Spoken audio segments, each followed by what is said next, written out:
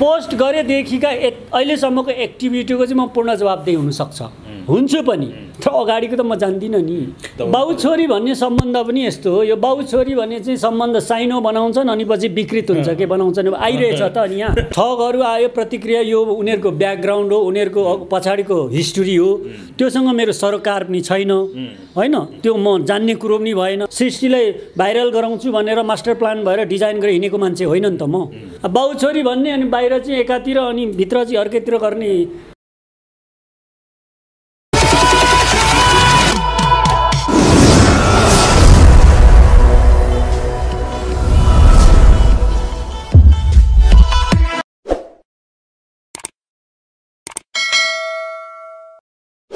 आज चाहिँ चियावाली सृष्टि तामाङलाई भाइरल बनाउन महत्त्वपूर्ण योगदान दिनुहुने व्यक्तित्व गजेन्द्र नेमवाङसँग कुराकानी गर्न गइरहेका छौँ आज हामी।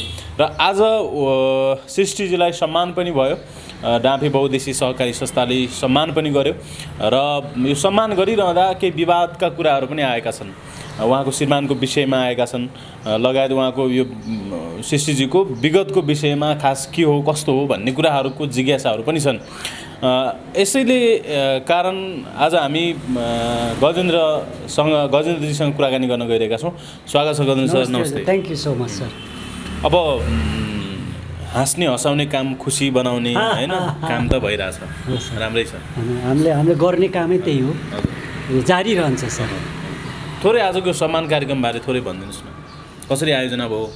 होइन यो डाफे बहुद्देशीय सहकारी बचत जुन छ यो यसको अध्यक्ष चाहिँ बेलबहादुर तामाङ हुनुहुन्छ।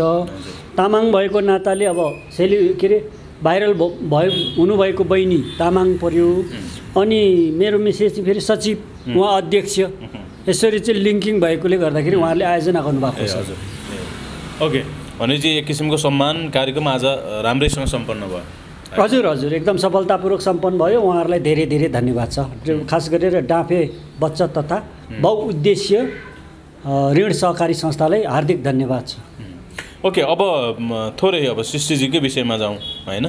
तपाईँको र सृष्टिजीको भेट चाहिँ कहिले भयो कहाँ भयो त्यही फेसबुक पोस्ट गरेपछि। फेसबुक पोस्ट गरियो खिचियो फोटो पोस्ट गर्नुको लागि म हिँडेँ उहाँको नम्बर म लिएन अब कहाँ जा कता हो कता हो नि काठमाडौँको दुनियाँमा। तर अब खोज्दै जाने क्रममा अब कृ त्यहाँ कृषि विकास ब्याङ्कमा म आएँ सातो बाटो। अन्त कृषि विकास ब्याङ्कको सातो बाटोमा म पसेर त्यहाँ चाहिँ नि म हाँसेँ। सधैँ आउँदा पनि हाँस्छु पोजिटिभ कुरा गर्छु। अनि उनीहरू त्यहाँ बहिनीहरूले चाहिँ पोजिटिभ भाइब्स ल्याउनुहुन्छ सरले जहिले खुसी छौँ भनेर भन्नुभयो। अझै पोजिटिभ भाइब्स हेर्नुहुन्छ त बहिनी भनेर फेसबुक खोलेर त्यो बहिनीको चाहिँ देखाइहालेँ के सृष्टि तामाङको। ए यो बहिनी त हामी चिन्छौँ त्यहाँ तल बस्नुहुन्छ भन्नुभयो। नम्बर चाहिरहेको मान्छे अब ती पाले। नम्बर पनि रहेछ अनि त्यहाँबाट नम्बर लिएँ दसौँ पटक फोन गरेँ भेट्नुको लागि उहाँले उठाउनु भएन। बेलुका यतिखेर चाहिँ कल ब्याक गर्नुभयो। फेसबुकमा लगाउने दाइ मै हो भने अनि उहाँले भोलिपल्ट भेट्न बोलाउनु भयो। बेल त्यही दिन बेलुका उहाँको घर छेउमा अनि गएर भेटेको अनि त्यहाँदेखि चाहिँ भोलि आ- भोलि बिहान मिडियामा अब आदि इत्यादि फेरि अर्को मान्छे चाहिँ पूर्व जाने पुर्याउनु आउँदा हजुरहरूकोसँग आत्मीय भेट भयो। त्यसकारण अहिले चर्चाको शिखरमा हुनुहुन्छ बहिनी चाहिँ सर। अब जस्तो अब उहाँको श्रीमानको विषयमा भिडियोहरू आयो। होइन? हेर्नुभयो होला हेर्नुभयो? हिजो आयो मैले हेरेँ। कतै कसैले मेसेन्जरमा मेरोमा फालिदियो। अनि हेरेँ त्यहाँ चाहिँ तपाईँको चाहिँ पैसा तम्सुकहरू पहेँलो पहेँलो कपडा लगाएको एउटा के सोमलामा के हुनुहुन्छ? अनि तम्सुकहरू पनि छ पत्रकारहरूले सोधिरहेछ। नुवाकोटमा दुईजना जानुभएको थियो पत्रकार सायद उहाँले खिच्नुभएको होला। मैले हेरेँ भनेपछि उहाँ आर्थिक मामिलामा चाहिँ जेल लिनु भएको अवस्थामा रहेको देखियो त्यो अनुसार। मेरो सिसिजीले सेयर गर्नुभएको थिएन यो कुराहरू? यो कुरा सेयर गर्नुभएको थिएन। त उहाँ भिडियो हेरेँ मलाई थाहा भइसक्यो दुनियाँ यसरी नै जेलिरहेको हुन्छ भनेर। उहाँ मात्रै होइन संसारमा दुनियाँ यस्तै हो। त्यसकारण त क्रान्ति गर्नुपर्छ भन्छौँ हामी। जेलिएको हुन्छ समाज मनोक्रान्तिको लोगो हुन्छ त्यो तल घुमेको। अब जताततै यहाँ हरेक राजनीतिक सामाजिक त्यसबाट बाहिर मुक्ताउनुको लागि जाग्नुपर्छ भन्ने हो। अब नजागेपछि त्यो सबैलाई हुने त्यही हो। म पनि कुनै बेला त्यस्तै अवस्थामा थिएँ।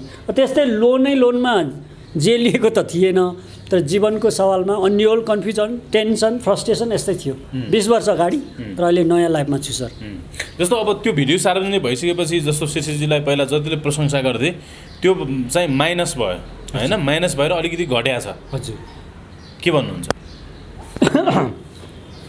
मानिसहरूले आफ्नो साइकोलोजिकल एङ्गल दृष्टिकोण मूल्य मान्यता चाहिँ परिस्थिति अनुसार बनाउँछ क्या सर?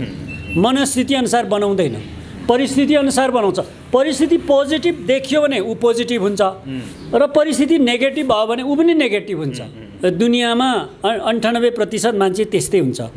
तर मनस्थिति अनुसार मानिसले आफ्नो पर्सिप्सन बनाउने मान्छे यस्तो परिस्थितिले न गलाउँछ न केही हुनेवाला छैन विचलित हुँदैन। जस्तै मेरै कुरा गर्दा अब मलाई प्रशंसा गर्दाखेरि चाहिँ म खुसी हुने अनि मेरो चाहिँ आलोचना गर्दा या कसैले चाहिँ नि जस्तै मिडियामा गइनँ भने म दुःखी हुने कुरै आउँदैन।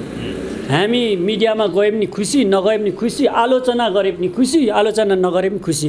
किन भन्दा त्यो त उसको विचार हो नि त उसको इन्टरप्रिटेसन हो नि त। वी क्यान डु नथिङ उसको बारे। उसको मन मस्तिष्कको उसको हृदयको कुरा हामीले इन हामीले चाहिँ त्यो गर्ने हो। केही गर्नु सकिँदैन। कि हामी जस्तो हुनु पर्यो। अब अरूले त त्यो गर्छ नि। त्यसकारण त हामीले भन्ने गर्छौँ कि कर्म गर फलको आशा नराख। कर्म चाहिँ गर्ने हो फलको आशा गरेर बस्यो भने त त्यस्तो प्रतिक्रिया नेगेटिभ आयो भने अनेक किसिमको आयो भने त मनलाई दुःखी बनाउँछ नि। सायद बनाउँदै पनि होला उहाँलाई किनभने उहाँ त सामान्य मान्छे हो। हामीलाई त गर्दैन फरकै पर्दैन। जस्तो के भन्छन् भने कमेन्टमा पनि के आएको छ भने सिसीजीले चाहिँ आफ्नो श्रीमानको बास बारेमा धेरै कुरा त बोल्नु भएन। तर जति बोल्नुभयो उहाँले चाहिँ आफ्नो श्रीमानको विषयमा राम्रै कुरा बोल्नुभयो।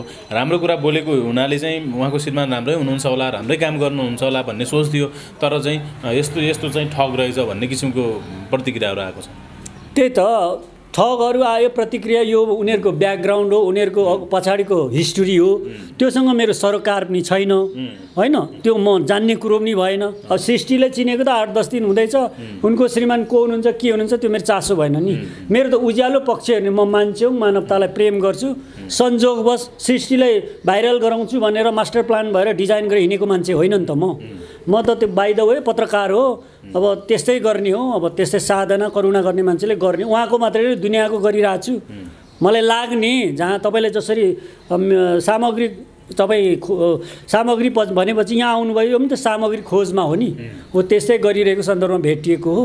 त्यसकारण यो अगाडिको हिस्टोरी के छ कता छ त्यो मेरो सरोकारको चासो विषय भएन। तर चासो लिए मान्छेहरू। चासो त लिन्छन् तर म मजाले जवाब दिन्छु नि। जस्तै चासो तपाईँले लिँदै हुनुहुन्छ। हिजो हजुरको कल आएको थियो। अरू कसैले पनि फोन गर्नुभएको थियो नि। शानदारका साथ जवाब दिन्छु क्लेरिफिकेसन त दिनु पऱ्यो नि। अब त्यो चाहिँ म जान्दिनँ भनेर गजेन्द्र नेमाङ चाहिँ पन्सिने कुरो आएन नि। जवाबदेहिता त हुनु पऱ्यो नि। त्यो that is good leadership responsibility हुनु पऱ्यो नि। र त म तपाईँलाई चाहिँ नि क्लेरिफिकेसन दिँदैछु। तर यो कुराहरू जस्तो सिसीजीले पहिले नै भनिदिएको भए राम्रो हुन्थ्यो भन्ने कुराहरू पनि छन्। यो त ज ज के अरे आम मानिसहरूको अपेक्षा र चासोको विषय हो। मिडियाको पनि त्यही हो नि। तर उहाँले कसैले सोध्नु पर्यो? आफैले भनी हिँड्ने कुरो त भएन।